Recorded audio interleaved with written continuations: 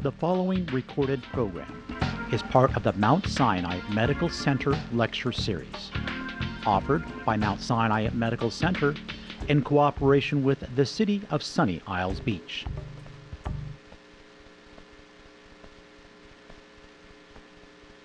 Well, thank you so much for having me. It's nice to, uh, hopefully I'll get to meet all of you afterwards. Um, my name is Aidan Schmidt. I'm going to be giving a talk on uh, understanding abnormal uterine bleeding. Um, to give you a little bit of background, you know, this is my opportunity to kind of introduce myself to all of you and the community. So I wanted to give you a little bit of my background where I'm from. I'm originally from Long Island. Um, went to Cornell for undergrad, and then I worked on Wall Street for several years afterwards. Um, kind of had a quarter life crisis and decided I wanted to be a physician. So um, I went back to school and I basically had to do college again to do, get a post-bac pre-med um, in order to get into medical school, to take all the prerequisites. And then I attended um, Stony Brook University um, on Long Island for medical school, and then I completed my residency this past June at NYU Winthrop Hospital in Mineola. Um, and I moved here with my beautiful wife and two children in uh, July, and I love it down here so far, and thank you so much for having us. Um, I don't have any um, conflicts of interest or financial disclosures to provide during this lecture, so I just wanted to clear that up. Um, you know, to give you a more broad sense of, you know, why I'm here, I just want to give you some facts to know about abnormal uterine bleeding and how we kind of evaluate it and um, things of that nature. So to really um, get an idea of what we're talking about, first we need to really define what uterine bleeding is. Um, once we can define uterine bleeding, um, we need to evaluate the bleeding. There are lots of different causes depending on um, where you are in your, in your life and um, what's going on medically. Um, so we need to determine what the cause is, and then, of course, once we determine what the cause is, we can move on to treatments. And I provided that illustration of the uterus and ovaries just to give you an idea, something to reference in your mind's eye, um, you know, depending on how familiar you are with anatomy, to kind of give you an idea of what we're talking about. Um, and there will be more graphics um, to kind of illustrate um, things going forward. Um, so what is uterine bleeding? Uterine bleeding is, it sounds interesting to say it's any bleeding that originates from the uterus, but that's easier defined then um, you know, once we do some investigation, sometimes we find that uterine bleeding may not be actually coming from the uterus, so it would not be uterine bleeding. It, well, it, then it's not uterine bleeding. I'll go through, okay, I'll go more into, into depth and you, I'll kind of address that in uh, the next couple of slides. Um, but when people usually think of uterine bleeding, the first thing people usually think of is menses. And you know, you notice that either in your undergarments or uh, on a sanitary pad or in the toilet. Something I want to kind of educate you all on is that, you know, it can be very uh, disconcerting to a patient when she sees blood in the toilet. And it's important to know that when there is blood in the toilet, it can be very deceptive. So you can have one or two drops of blood in the water in the toilet and it can look like a lot of blood. And it's very scary to a lot of people and understandably so. I, can, I can't imagine. Um, but I just want to kind of give you an idea that just because you see a little blood in the toilet doesn't mean that you're hemorrhaging or anything like that. It could be very little blood that kind of just dropped into the toilet and spread in the water and it looks like a lot more than it actually was to kind of reassure you if you see that sort of thing. Um, you know, there are two different approaches we take when we look into abnormal versus normal uterine bleeding. Obviously, menses is a normal physiological thing that occurs in women during reproductive ages. Um, but we kind of evaluate, and there are different causes for uterine bleeding depending where you are um, in your life, if you're still a reproductive age or if you're menopausal. Um, so I kind of gave an idea of what things we look at to uh, define abnormal uterine bleeding in those two different um, parts of your life there. And we'll go into that in more detail in. So, as you so succinctly brought up, it's important to determine where the bleeding comes from. And um, I'll show you some illustrations on the next slide that really illustrate how difficult it can be to figure out where blood is coming from when you find it. Um, you know, there can be non-uterine sources. Now, if there was a non-uterine source, it wouldn't necessarily be uterine bleeding, but you could be evaluated for uterine bleeding because you're unsure of where the blood is coming from. So there are organ systems that are uh, around the GYN system that can cause bleeding and may present to a patient in a way that they would think they might have uterine bleeding, but in, in fact they are not. And they need to be evaluated by a physician in order to determine that. So some of those sources can be the urethra, the cervix, the vaginal walls, and or the rectum. So this is to kind of help illustrate um, how difficult it can be for a patient. And if you can still hear me, I'll just walk over. I don't have a pointer. Um, but you can see how close um, the orifices are of the urethra, the vagina, and the rectum here. So it, it, if there's blood coming from any of them, it can be very difficult to discern for a patient where the blood is actually coming from. And when we have blood coming from the urethra, I, I included a picture of the, um, the kidneys here to show you that the bleeding could come anywhere from the kidneys down through the ureter into the bladder. Here's the bladder here, and then out through the urethra. So anywhere along this track, if there's bleeding, you can see how close the urethra is to the vagina and make it very difficult for patients to tell where the bleeding is coming from. Um, so that's why being evaluated is so important because you may assume it's one thing and it could be something completely unrelated or different and need a different type of physician to evaluate, and we can help you discern that type of thing. I put some things up there because just to give you an idea of some things that can cause bleeding in those different areas. You could have a kidney stone, of course, bleeding um, blood in your urine is never normal and should always be evaluated. Um, so if you do notice blood in your urine, I want to tell you that you should be evaluated either by GYN or urologist, and we can help figure out what the cause is. It's not always uh, something very bad, but it is it needs to be evaluated to make sure it's not. And something that some people don't realize are that medications and diet can actually change the color of your urine. So it might actually not even be blood. It could just be a different color to your urine because of medications you've taken or um, uh, excuse me, changes in your diet. And actually, interestingly, we will give patients when we do surgery some medications to change the color of the urine to help us uh, evaluate the, uh, the urethra and the bladder to look for defects and things like that. That's a whole other topic. Um, so I kind of addressed the uh, urethra um, and the vaginal walls could obviously have bleeding that would come out the vagina, but that wouldn't be coming from the, the, uh, the uterus. Other things you could have uh, bleeding from your rectum, which could be related to colonic polyps or anal fissures or hemorrhoids. You know, if you're uh, on the toilet and you happen to wipe and see blood on the toilet paper, you might not know where that blood is coming from. Um, and as I mentioned, there are medications that can change the color of your urine, but ble bleeding in any of these areas can be caused um, or related to, I shouldn't say cause, but more related to medications you may take for other medical conditions. Um, you know, if you have AFib and you're on anticoagulation or you have blood clots you take bloods, people use the colloquial term blood thinners, they can make you more prone to bleeding in areas that you might not otherwise um, have bleeding normally. So taking those medications could cause bleeding that otherwise would not happen if you were not on those medications. So that could be the cause of, um, or the exacerbation, exacerbation of the cause thereof. So um, when we do have a patient come in, it's important to evaluate uh, the uterine bleeding, and the most important thing is the history and exam. Um, that can kind of give us an idea of what we're looking at, you know how old a patient is, is it cyclical, could it just be related to their menses if they're still reproductive age, um, if they're non-reproductive age, um, is it something else that we need to look into?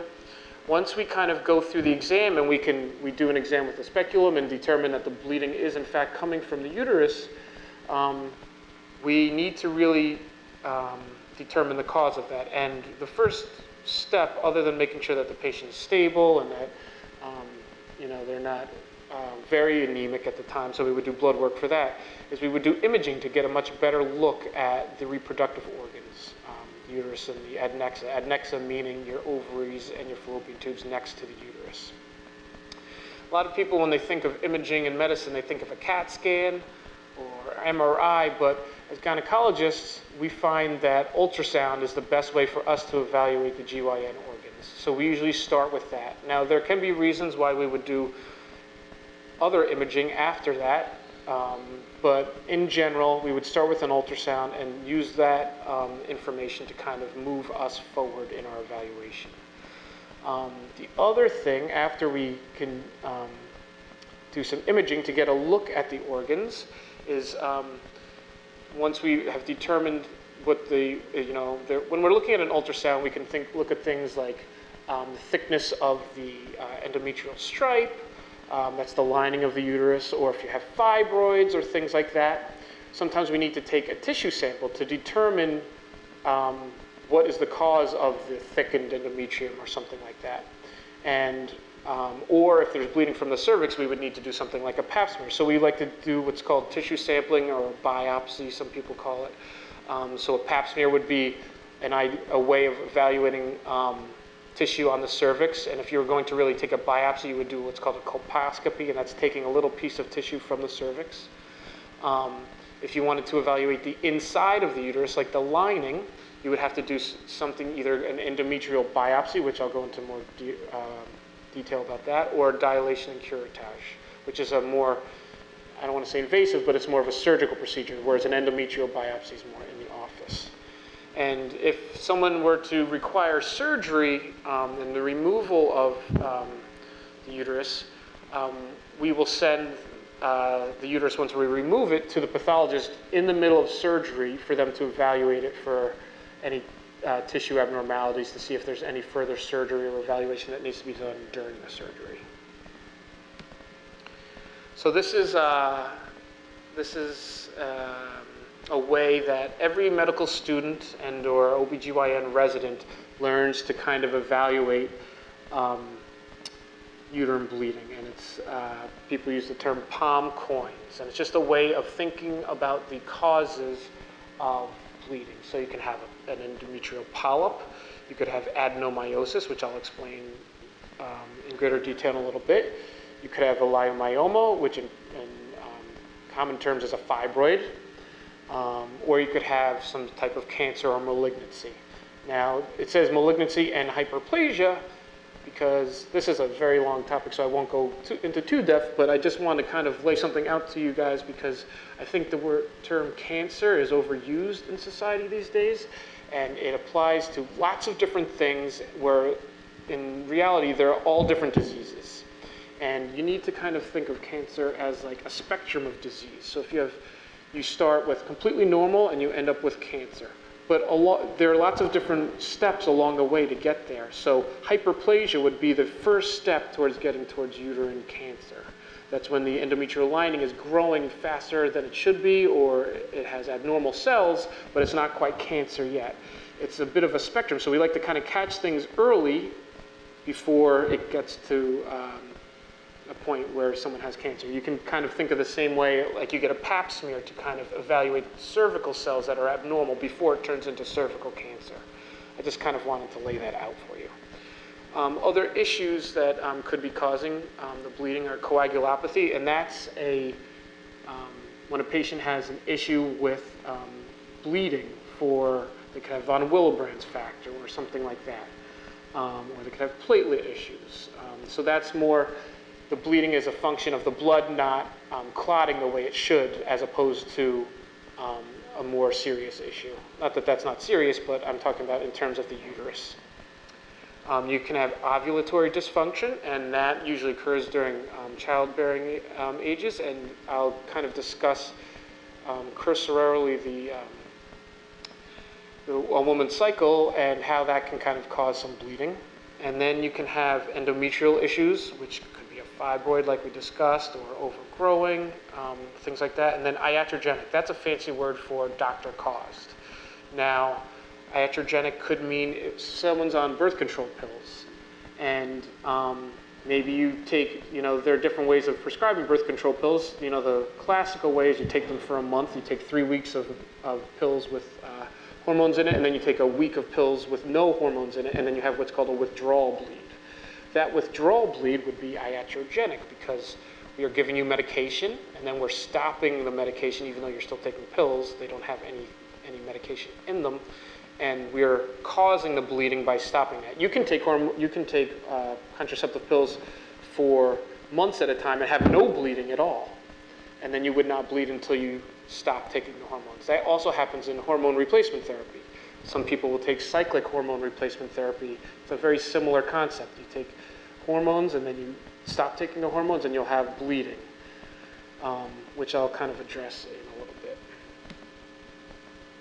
Okay, so how do we distinguish menses or your period from abnormal uterine bleeding? So people had to come up with, you know, when women are having normal bleeding, normal as in regular menses, how do we define what's normal and how do we define what's abnormal? So um, they kind of looked at population distributions and what the average person has in terms of frequency and regularity, and they came up with these um, definitions and what is defined as normal menstruation. Anything that does not fit these definitions when you're um, in your reproductive age, that would be defined as abnormal uterine bleeding. It does not fit the frequency of 24 to 38 days, um, or it's regular in terms of your the, the the length of your menstrual cycle does not vary by more than seven days, or the duration, you don't bleed more than eight days, or you have a volume of bleeding more than, greater than 80 cc's. And then we can have bleeding in between cycles as well, so you can have normal menses and normal menses, and there can be spotting in between, which would be considered abnormal, but it might not be um, indicative of something bad happening, it just would be abnormal. So that's why I want to kind of, I'm going to keep trying to um, hammer home the point during this presentation that um, anything that is abnormal should be evaluated. It doesn't necessarily mean that it's something bad. It just means that we need to ter- determine that it's not something bad before it could become something bad. So as I was dis- discussing, this is what a normal um, menstrual cycle would look like. Now it's a classical 28 days. You have your menses on day zero, one, and then you bleed for a few days. Now, changes in hormones and ovulation cause the, the thickness of the. So, this is a kind of a cross sectional view of what the thickness of the endometrial lining would look like. So, you're kind of looking like inside the uterus, and it kind of gets thicker and thicker as the uterus prepares for an egg coming down that may be fertilized and become, you become pregnant and to um, embed there. Once there's no egg here, changes in hormones um, or outgrowing the blood supply cause this extra tissue to kind of, we call, call it sloughing off, or you have a menstruation, and that happens regularly. Now you need the, the, you can see those lines above it, those represent cyclical changes in hormones. Um, what can happen to some patients is you can have what's called anovulatory um, bleeding or ovulatory dysfunction, where your hormones are thrown off for whatever reason. There could be lots of, you can have thyroid issues, you can have PCOS, there can be lots of things that could throw off um, your hormones. But as you can see here, the thickness of the lining is getting, it's um, getting thicker, but it's not shedding in the normal sense. It's getting thicker, and when it should shed, because there are no changes in hormones, it keeps getting thicker. And what happens is, as this tissue gets thicker, it outgrows the blood supply coming. So a little bit comes off. So you don't have like what's called a classical um, bleeding, you'll just have spotting or a little bleeding, but you won't have a period per se. And then the, the lining gets thicker and thicker and thicker. And sometimes you reach a point where it's so thick that you need surgical intervention to kind of remove that extra tissue. These sort of things happen normally in the extremes of childbearing age, either someone in their teens who's just starting to have their period and their hormones aren't really going in the cyclical pattern that they should be, or closer to um, closer to menopause when um, the ovaries are starting to not make as much estrogen as they used to and they're not ovulating. So that's when you see these sort of things happen. So I put up here postmenopausal bleeding is almost never normal. Now, it's never normal, but it can be expected. And the one way would be expected is when I was saying before, if you were taking hormone replacement therapy um, and we were, you were taking it cyclically, meaning in a regular pattern, and then you were having withdrawal bleeding because you stopped taking the hormones. that's not normal, but it would be expected and not something that needs to be evaluated because we caused it because of the medication. Otherwise, if once you're menopausal and you see any bleeding, that always needs to be evaluated. Now, it doesn't necessarily mean it's something bad, but we have to make sure that it's not cancer. And once cancer is ruled out, and it could be caused by lots of other issues that are not an emergency or need to be addressed, sometimes it can even just go away on its own. We, as doctors, obviously just need to make sure that nothing really bad is happening, and then we can address things that are not that uh, urgent or may not even need addressing at all. But it's important to always have it evaluated to make sure. So I just kind of listed some possible causes there. Atrophy, so as you age, your, your ovaries don't work as well and you don't make as much estrogen and the tissue can kind of, um, your vaginal tissue can kind of thin out and it makes it a lot easier for it to kind of break and bleed. And then if you're on a medication like a, like a blood thinner, that can make things like that worse. So it's not something that's bad, but you have blood coming out that should not normally be there If we did an exam, we could see it's just, oh, it's just a little piece of tissue that's inflamed or thinner than it should be, um, and it's bleeding for no real reason. So it's not something that needs to be addressed per se. It could be, but um, it's not something like emergency, like uterine bleeding, that would be a symptom of endometrial cancer. But you can't know that until you get evaluated by a doctor. All you know is there's blood there. We need to kind of figure out where it's coming from. Because obviously, like I said, atrophy is not that I don't want to say not that big a deal, but it's not you know, something that's going to kill you. Whereas cancer or hyperplasia is something we need to address and make sure that we take care of before it's a real issue. You could also have polyps or fibroids, and these are at any age. Um, an infection um, can cause tissue to also become friable, is the term we use, which is not similar to atrophy, but in concept, you know, the tissue kind of gets angry and it can bleed because it's got an infection. And if we, if we give you medication to clear up that infection, be it an STD or a bacterial vaginosis or something like that, the bleeding will stop because the tissue does, is not infected anymore. Um, and once again, you can take medications that can cause um, bleeding, like H- HRT stands for hormone replacement therapy, AC stands for anticoagulation. If someone has a history of uh, breast cancer and they're on tamoxifen, that can cause thickening of the uterus, and it's a well known thing, but it does need to be evaluated if you have bleeding. Um, so like I put down on the bottom, and I'm going to keep saying this over and over because it's very important, um, it's important with any person with postmenopausal bleeding to be evaluated by a gynecologist. We can rule out all the bad things. Once those bad things are ruled out, we can address any you know, non-urgent issues. So once we go through our history, I kind of wanted to give you an idea of how we evaluate it. And you know, I was talking about ultrasound before, um, an endometrial biopsy, um, just to give you an idea of what those things entail and what it looks like. So um, a vaginal ultrasound involves putting the probe into the vagina. You can kind of see it um, on the top picture. And it sends out sound waves. And since the probe is so close to the uterus, it can really get a good image of what's going on in the uterus. It can evaluate the thickness of the lining. It can tell you if there are fibroids. It can also look at the adnexa, the adnexa meaning the ovary and the fallopian tube on the side. Um, if we were to do an endometrial biopsy, this is an in-office procedure. It's similar from the patient's uh, standpoint to a um, pap smear. It's just a speculum exam. And we use a small little straw-like device to enter the cervix and to take a little piece of tissue to evaluate it for abnormal cells. It's a little more discomfort than a, than a pap smear. Um, usually it's okay if you just take Motrin and you get some cramping and uh, now, some patients don't tolerate that, or we have a much higher suspicion for um, cancer. Um, sometimes we might need to do a D&C, which is a more um, in-depth version of this, but that's in the OR, and I'll show you pictures of that in a little bit. And once again, you can have a pap smear, which this is the cervix right here. This takes a pap smear just as a little brush um, that kind of takes tissue right off of here to evaluate it for abnormal cells.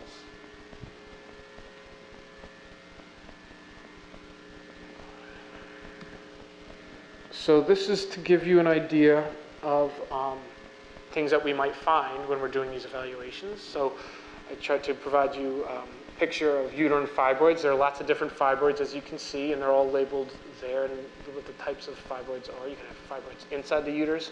You can have fibroids in the wall of your uterus. You can have fibroids kind of outside the uterus on the side that's more inside your abdomen. And uh, fibroids are benign, but they can cause bleeding and they can cause discomfort. And um, some patients like to have them removed and or have a hysterectomy because the bleeding and dis- discomfort is just too much for them to bear. Um, it's not um, an emergent issue because fibroids don't usually um, cause anything other than the bleeding and the um, discomfort, but it's a procedure that we can do to help patients have a better quality of life and things like that. Um, on the top left, that's a picture that illustrates what's called adenomyosis. Now, you have cells that line the uterus, and those are the cells that kind of get thicker when you menstruate and get ready for the, um, for the fertilized egg to um, implant. Sometimes those cells, we don't really know exactly how, but they can end up in the wall of the uterus. So this wall over here, and I'm just going to point to this picture because it's lower, but this is all muscle. And when you're pregnant and you have a baby, that's the muscles these are the muscles that are contracting to push the baby out. And there's a lining here, which you can kind of illustrate here.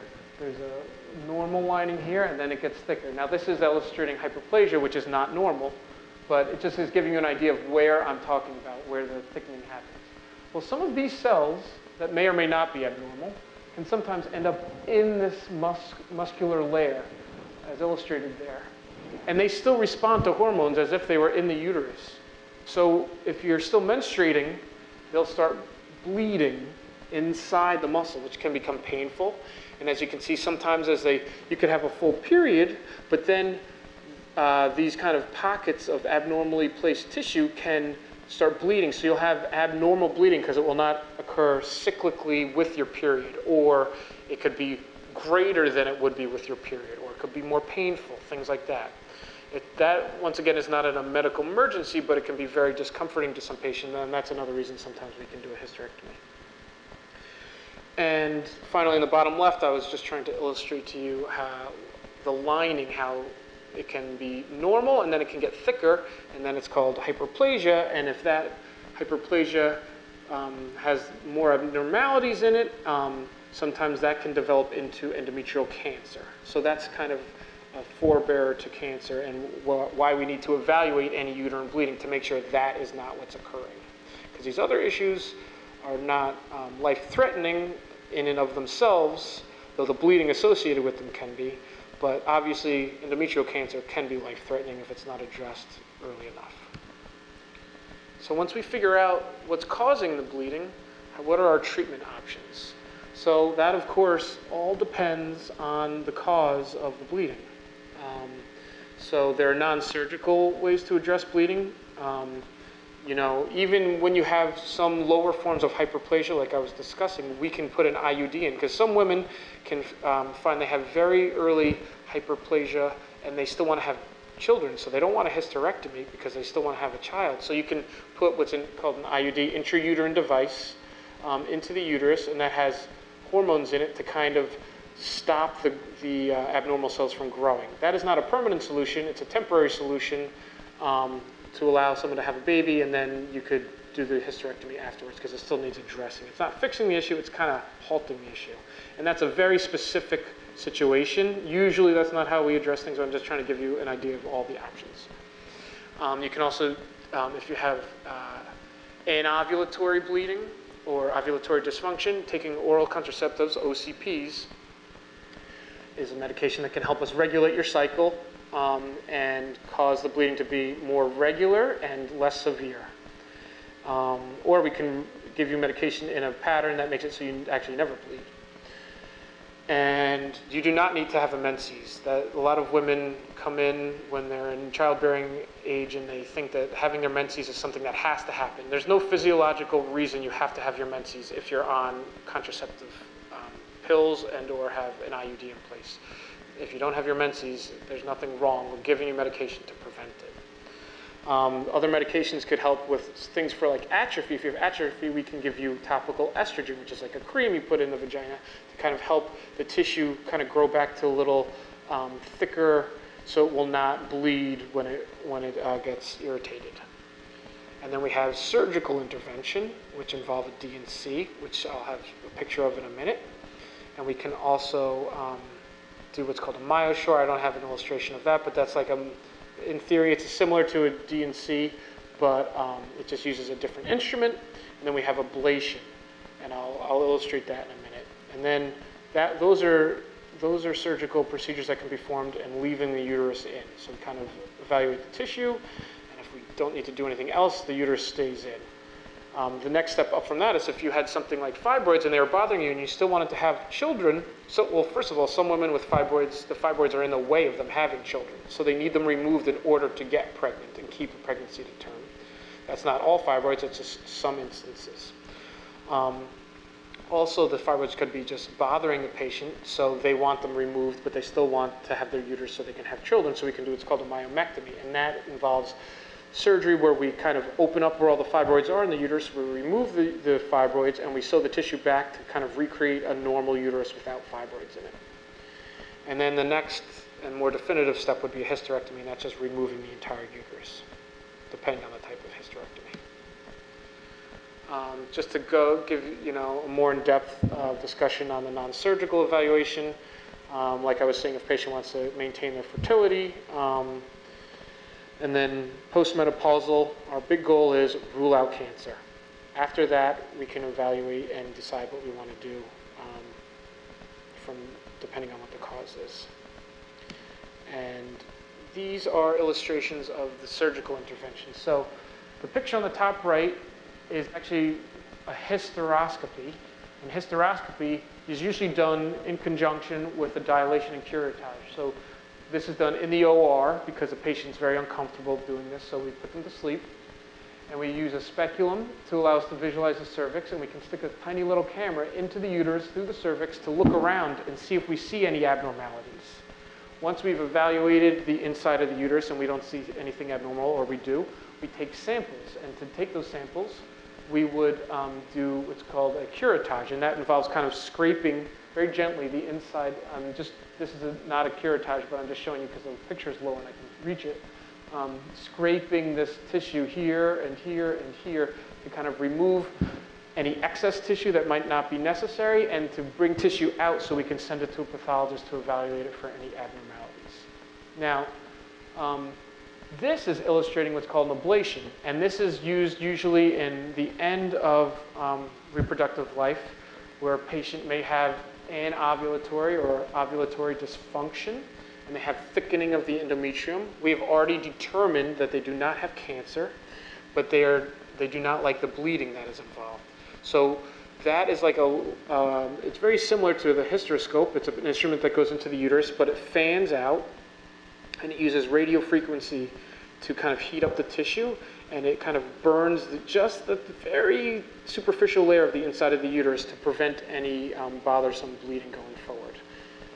We can't really do that if you want to be pregnant in the future or if you have cancer. So it's a very unique population of patients that get that, but it can be very helpful for them. And then um, this is just to illustrate um, what's involved in hysterectomy if we have to take the uterus out. Now this is illustrating a laparoscopic hysterectomy. Depending on the size of the uterus and the reason we're doing the surgery, may be required that we would do what's called an open hysterectomy, which involves a larger incision, kind of like a C-section. Um, you know, if the uterus is very big or if a patient has cancer and it's not confined to just the uterus, and the, the surgeon needs to evaluate other areas of the abdomen, we would need to do an open procedure. Um, but uh, laparoscopic procedures um, is much better tolerated by a patient because the incisions are very small and um, you can usually go home the next day or even that day depending on how involved the surgery was or how you feel um, and feel great. We also can do, some doctors do what's called a vaginal hysterectomy and that's removing the uterus all completely from below. So it would be, um, while these are all, you know, you need to disconnect the uterus from the blood supply and things like that, we're do, in the laparoscopic procedure, we're doing it from the sides, from above, through the abdomen. In a vaginal hysterectomy, we can actually access the uterus from the vagina and do remove the, the, the uterus uh, surgically from the vagina and take everything out of the vagina, and then we just sew it shut, and there are no incisions on the abdomen, and um, the patients tolerate that very well. It's a great procedure. It's kind of falling by the wayside. Uh, not a lot of surgeons do it these days because they're difficult and, not, and um, not for the patient, but they're, they're um, difficult for some, pa- from, for some surgeons to obtain enough training in them to, to feel comfortable doing them. Um, And we can also do myomectomies, like I was discussing, removing the um, fibroids, depending on the situation, either laparoscopically or open with a larger incision. So I know I've given you a lot of information. I hope it wasn't too much or too gruesome or anything like that. I was just trying to illustrate what we do and kind of educate you on what we do. Um, but I wanted to kind of give you an idea of what the takeaway points that I really wanted you to um, take away from this talk. Um, the first one is do not ignore bleeding that seems abnormal. And that means any bleeding after menopause, do not ignore it.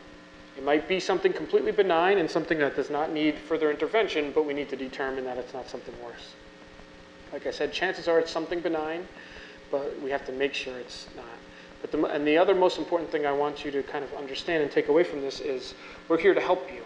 And we're here to walk you through all this. And while I give you this talk, I'm more than happy to see anybody that needs um, to be walked through this process. And we can, as physicians and gynecologists, we're more than happy to talk you through this and walk you through the steps and do the evaluation and tell you what's going on. And we're here to help. And I just want you to know that. And we're happy to answer any questions and help you guys with anything you may need. And I just wanted to thank you and show you pictures of my wife, beautiful wife, and kids.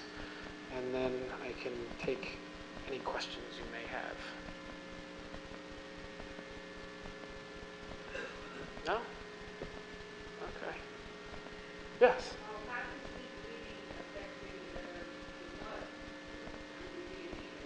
Well, you can be, you may not be, because um, depending on what your blood level is and how much you're bleeding and how often it's occurring and how long it's been happening. Um, so some women who have really bad fibroids, they bleed a lot and they bleed heavily and they've been doing it for years. They can come in very anemic and we have to give them blood transfusions. Um, and that, those are the types of patients that really need a hysterectomy to just, if they're not going to have any more children, to just remove the issue because the only way that issue is going to go away is by removing the source of the bleeding. Now, that's not an emergency in terms of we need to take the, the uterus out this second, but it's an emergency in that you might need a blood transfusion because you're so anemic.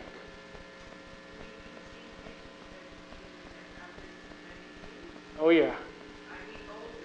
Yeah. Now, usually fibroids get smaller as you get older. Like uh, once you stop menstruating, they should they stop. Usually they stop bothering patients, but it can happen. So I don't want to ever say never. It's more usually someone in their towards the end of their reproductive life cycle that this is where it's usually an issue for them. But it can happen postmenopausally as well. Any other questions? Well, thank you for your time. I appreciate it.